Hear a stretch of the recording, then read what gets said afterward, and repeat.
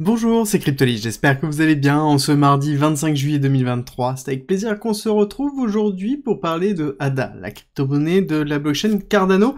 Alors comme d'habitude, on va disséquer en deux parties. Une partie fondamentale, on va revenir sur ce qu'est Cardano, sur ses nouvelles, et une partie technique où on va se projeter court, moyen, long terme sur les objectifs de prix pour pouvoir justement voir est-ce que oui ou non on est dans une bonne zone pour l'achat ou pour la vente et se projeter sur des prochains objectifs et ça commence tout de suite.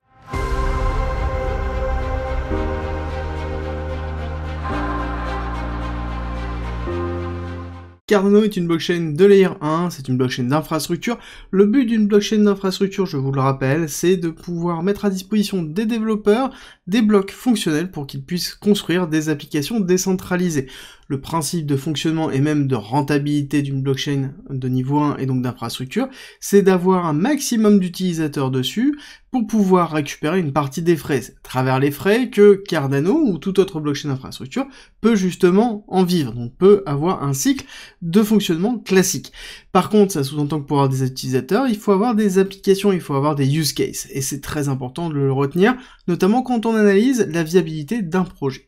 Alors là-dessus, Cardano existe déjà depuis un certain temps, et sa création est directement liée à Ethereum, c'est-à-dire que on a une séparation entre le président maintenant de Cardano, donc le développeur principal, celui qui porte le projet de Cardano, qui était anciennement dans l'équipe de développement et dans l'équipe de création originelle d'Ethereum, bah, créé Cardano. Le principe de Cardano, c'est d'être la blockchain d'infrastructure qui révolutionne le futur de la blockchain à travers une blockchain qui est sécurisée, scalable, peu chère et qui derrière est interopérable. Là-dessus, on retrouve exactement tout le narratif qu'on a pu connaître en 2020-2021 et le narratif n'a pas changé au niveau de Cardano. C'est un des éléments marquants de Cardano, c'est qu'il n'y a pas grand-chose qui change. Alors est-ce que c'est positif ou négatif? C'est à déterminer, c'est-à-dire que c'est un développement qui est plutôt long, qui prend son temps et c'est le principe, c'est totalement assumé dans les communications, dans les éléments euh, de dialogue qu'il y a, c'est que c'est une blockchain qui va prendre son temps pour construire une solution qui va être fiable et sécurisée pour justement révolutionner la blockchain. Ce n'est pas des développements rapides qui posent problème par la suite, ce sont des développements qui prennent toujours beaucoup de temps pour pouvoir créer un produit qui se maintient. Donc ça c'est la, directive et le narratif qui est posé autour de Cardano.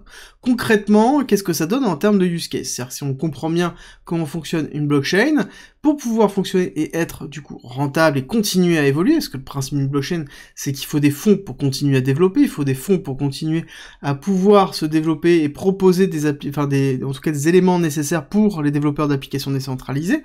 Bah pour ça, il faut des fonds. Et donc pour avoir des fonds, il faut avoir des use cases, il faut avoir des développeurs, il faut avoir un écosystème qui déjà a un attrait. Alors oui, on a quelques applications décentralisées sur Cardano, on a quelques développements qui sont en cours, on pourrait même considérer qu'on a quand même un certain nombre de développements qui sont en cours, même plutôt conséquents quand on regarde le GitHub, en tout cas tous les GitHub qui sont rattachés à Cardano. Par contre, concrètement au niveau des projets structurels, bon, on n'a pas forcément grand chose, et c'est peut-être ce qui fait un petit peu plus peur au niveau de Cardano, c'est qu'on a une blockchain qui, en termes de tokenomics, est déjà très haut en termes de, market cap, hein, et à côté, en termes de use case, qui est relativement très bas. Donc on a une divergence entre les deux, et quand on a ça, ça peut être aussi un signe de, de token, en tout cas de crypto, qui est surcoté, Néanmoins, c'est à prendre en considération que c'est un travail qui est constant. Ils ont sorti l'année dernière, il y a un an à peu près, Vacille, qui avait énormément de temps à se mettre en place parce que c'est un hard fork qui était très lourd, mais qui était essentiel pour pouvoir avoir euh, derrière de la scalabilité et de pouvoir continuer le développement de Cardano. Néanmoins, on se retrouve sur assez peu de nouvelles. On sait qu'on a quelques nouvelles qui ont été données sur le Summit 2022. On va attendre le Summit 2023 pour un peu plus d'informations. Mais on voit que ça avance doucement, mais on a l'habitude avec Cardano. Il faut juste bien prendre en considération que beaucoup de personnes qui sont dans Cardano ne sont pas sur la blockchain en tant qu'utilisateur, mais sont majoritairement des bagholders ou des personnes qui possèdent le token ou qui sont justement en, achat de ce token en exposition. Donc il faut bien bien le prendre en considération parce qu'on a eu toute une, une démarche durant toute la période de 2021 où on prenait justement Cardano comme étant un investissement rentable où on avait 5% d'inflation continuellement en plaçant ces ADA Cardano qui allaient continuer à monter et récupérer 5%, c'était vraiment le narratif à l'époque, donc beaucoup de personnes ont investi sur ADA Cardano et actuellement il y en a beaucoup aussi que je connais personnellement qui sont bloqués actuellement à des prix qui sont assez élevés euh, et c'est justement ce qu'on va regarder aussi dans la partie technique. Alors là-dessus, c'est ma vision, c'est euh, ma représentation d'Ada Cardano. Le projet en lui-même, il se développe, il n'y a pas de problématique dessus, c'est juste une question de, euh, de valorisation par rapport aux utilisations. Pour moi, je trouve qu'elle est peut-être survalorisée actuellement. Est-ce qu'elle arrivera à faire un nouvel ATH Je pense qu'il est possible qu'on retitille l'ATH. Est-ce qu'on arrivera à éclater? Là-dessus, ça dépendra principalement des liquidités qui rentreront sur le marché et surtout, et surtout, si vous l'avez bien compris, des use cases et des applications qui arriveront. C'est-à-dire ne plus parler de projets, mais parler d'applications qui sont présentes, dans lesquelles il y a des flux de transactions, dans lesquelles ça attire des utilisateurs. C'est le plus important. Un projet peut rester un projet toute sa vie. Il faut impérativement que ça se lance pour créer du trafic et c'est ce qui sera surveillé et regardé. Techniquement, on se retrouve dans une période d'accumulation qui est relativement longue, classique que l'on a depuis déjà un certain temps et sur un certain nombre de blockchains dans lequel on a bien cette phase d'accumulation et on se retrouve sur 2020, 2020 pardon, où on a une première rupture, un retest et ensuite on a une accélération sur fin 2020 et 2021 dans lequel on a une grosse phase d'accélération qui nous met en place ici une réaccumulation en BCARST SO. Donc là une réaccumulation de Wyckoff, ce qui est plutôt positif hein, quand on a l'habitude des, euh, des, réaccumulations de Wyckoff, on se dit que c'est quelque chose qui est plutôt positif. Par contre, il va falloir que euh, le fondamental suive. Et on va juste nettoyer rapidement le graphique parce qu'il y a pas mal de choses qui nous importent peu. Hop, on va juste retirer ça, on n'en a plus besoin. Ça aussi, et le break of structure aussi, on en a plus besoin maintenant. Donc ce qui va être intéressant ici, c'est qu'on se retrouve dans, une, euh, dans un setup où on a une phase d'accélération haussière, donc on a vécu ce cycle haussier, et maintenant on se retrouve dans un cycle baissier dans lequel on a une forme d'accumulation.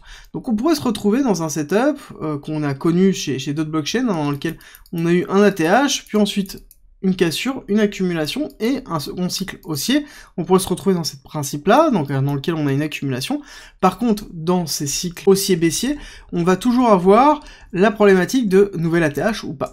Bah, je dois vous avouer que un certain nombre ne vont pas arriver au nouvel ATH et il va falloir le prendre en considération. Dans tous les cas, court terme, on se retrouve dans le bas de notre spot zone.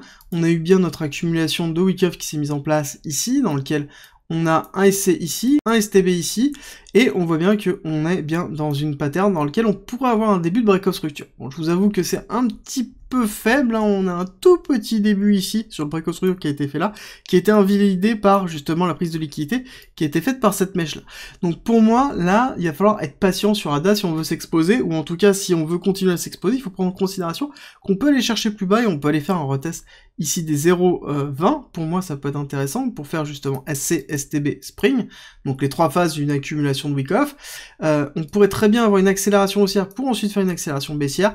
Bon, pour moi, j'attendrai dans tous les cas, euh, si je dois m'exposer à ADA, avoir une rupture ici, donc j'attends une rupture des 46, pour ensuite avoir une réintégration, et avoir un retest pour ensuite repartir, d'accord? Sur un setup comme ça, je me dirais que potentiellement je réintègre, en tout cas je, je, m'expose, là c'est pas le cas, euh, donc je vais être juste encore une fois assez patient, parce que déjà de base, fondamentalement, c'est pas un projet sur lequel euh, je suis ultra bullish, parce que je ne vois pas forcément d'application sortir, je vois beaucoup de développement, je vois beaucoup de travail, mais je vois pas forcément de use case, après ça reste mon avis, il faut bien le prendre en considération, si jamais vous êtes pro Ada Cardano, c'est euh, votre vision et c'est votre décision aussi au niveau de l'exposition que vous souhaitez avoir. Alors, qu'est-ce qu'on peut viser comme target? Déjà, pour moi, la première target qui va être essentielle, ça va être la rupture ici des 0,70, d'accord? Ça nous permet de sortir de cette grosse période d'accumulation, d'accord? On est dans une période d'accumulation, donc il va falloir sortir pour faire le break. À partir du moment où on aura fait le break, à ce moment-là, on pourra se dire qu'en effet, on est dans un cycle qui est en train de s'inverser, et là, il va falloir viser des zones très importantes. Et la première zone qui va être très forte, ça va être ici, la zone des 2 dollars, d'accord? 1,5$, 2 dollars, voire même 2 dollars 2, dans lequel on a beaucoup de personnes qui sont lock, beaucoup de personnes qui sont lock aussi un petit peu en dessous, mais je pense que eux, c'est les retardataires et ils sont sortis, c'était janvier 2022, je pense qu'il y a beaucoup de personnes qui ont euh, tout simplement capitulé sur cette cassure baissière, alors que les personnes qui sont rentrées dans novembre 2021 ont potentiellement lock leur token, donc j'ai plus tendance à vous dire que les 2 dollars vont être un premier objectif dans lequel il va falloir alléger sévèrement votre bague, parce que, en l'occurrence, on pourrait avoir un retracement qui pourrait se faire relativement fort, avant soit de faire une accélération, soit avant de dire, bon ben, en l'occurrence, il n'y a rien qui se passe sur la blockchain, et donc ça se dirigera doucement et lentement vers zéro. Donc là, il va falloir surveiller, un, la fondamentale, et deux, surveiller la technique. Admettons, on se retrouve dans un ADA Cardano qui performe, parce que on a beaucoup d'applications qui sortent, on a des utilisateurs, on a des frais qui fonctionnent, donc on sait qu'on a une blockchain qui est rentable, et on a une forme de réadéquation entre la market cap et l'utilisation de la blockchain. Bah, souvent, on pourrait considérer qu'on a une grande vague 1, retracement 2, et une grande vague 3 iotiste, et souvent on pourrait chercher une target ici de 1,618 avec un token qui pourrait aller dans les 5 dollars, qui serait une belle target sur une fin de bull run, si jamais le fondamental suit bien évidemment. Donc là, pour moi, c'est le setup que l'on pourrait retrouver sur toutes les blockchains qui sont actuellement, d'accord? C'est un, est-ce que j'ai une adéquation entre la market cap et les utilisations. Est-ce que j'ai une blockchain qui peut être rentable? Et à côté, est-ce que derrière j'ai un projet qui continue à croître et on se prépare? Est-ce que oui ou non on pourrait avoir un premier TP pour pouvoir consolider ses profits? Et ensuite se préparer soit à une explosion, soit ben, un retracement parce que la blockchain en elle-même n'arrivera pas à supporter. Donc ça c'est valable pour toutes les blockchains qu'on a actuellement. C'est cette réflexion là qu'il faut avoir et j'espère que vous allez l'appliquer à toutes les autres blockchains. En tout cas, si jamais ce type de vidéo vous plaît, vous avez les mêmes qui ont été effectués tous les jours du lundi au vendredi à 13h30. La dernière en date c'est EGLD, la crypto de Multiverse X, elle ronde, je vous la mets ici et on se retrouve demain matin 7h pour la quotidienne.